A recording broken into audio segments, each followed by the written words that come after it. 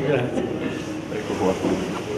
Epilogo lampo per il furto al Prodi Sport. In poche ore è stato risolto con l'individuazione del ladro grazie alle telecamere di videosorveglianza e all'operazione portata a termine dalla polizia che ha subito attivato le indagini.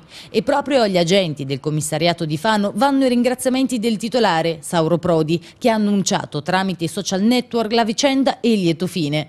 L'episodio risale a sabato scorso, quando intorno alle 17.30 una famiglia composta da padre, compagni e due figli è entrata nello locale di Viale Piceno dove è rimasta per poco tempo. Hanno provato qualche capo di abbigliamento e poi sono usciti a mani vuote, o almeno così è sembrato ai commessi che poco dopo si sono accorti che mancava un giaccone del valore di 400 euro circa. Così il titolare, che aveva già subito due colpi nel negozio di Pesaro, di cui l'ultimo a fine dicembre, ha deciso di sporgere denuncia consegnando ai poliziotti tutte le registrazioni video. Dalle immagini si è scoperto che quel padre di famiglia, un romeno di 23 anni domiciliato a Fano, aveva tolto dal giubbotto la placca antitaccheggio, lo aveva nascosto in un borsone ed era uscito dal negozio senza destare sospetti. Il suo errore poi è stato quello di provare a vendere la merce rubata su Facebook. Il giovane ha infatti messo una foto dell'indumento sulla pagina del mercatino dell'usato, chiedendo ai possibili acquirenti la modica cifra di 150 euro. A quel punto gli agenti, coordinati dal dirigente Stefano Seretti, una volta scoperta l'intenzione, si sono finti interessati al capo d'abbigliamento, hanno contattato il venditore e si sono accordati per l'acquisto.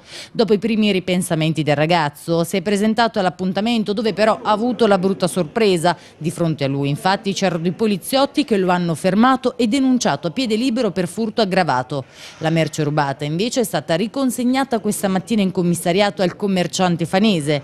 Come tanti altri casi, anche in questa vicenda si è dimostrata fondamentale la collaborazione tra le forze dell'ordine e il cittadino e in particolare la denuncia del colpo subito anche se di piccola entità. Denunciare un furto non è che penso che sia un diritto ma anche un dovere, no? in fin dei conti era giusto farlo così, però io sono contento perché Mm, ho ricevuto, diciamo, ho avuto l'impressione fin dall'inizio che ci fosse molta professionalità e serietà. È una cosa diciamo, non eccezionale, però in poche ore comunque quando le forze dell'ordine mm, compiono diciamo, il loro dovere è anche piacevole mm, così dare un riconoscimento alle persone che lavorano per questo, ti fanno sentire anche un pochino più, più contento. In questo caso sono state fondamentali anche le immagini registrate dalle telecamere di videosorveglianza? Beh certo, noi ne abbiamo, adesso non, non, saprei quantificarle con esattezza, ma almeno penso una decina. Noi sempre, siamo sempre avvalsi della videosorveglianza, di tutti gli impianti d'allarme sofisticati, molto simili a quelli, sono identici a quelli delle banche. Abbiamo sempre investito in questo, però la tecnologia è una cosa molto importante perché in pratica non se ne può fare più o meno in tanti settori, compreso questo. Però in questo caso penso che è la persona, le persone hanno fatto la differenza. Si sono prodigate in modo esemplare e a loro vanno i complimenti.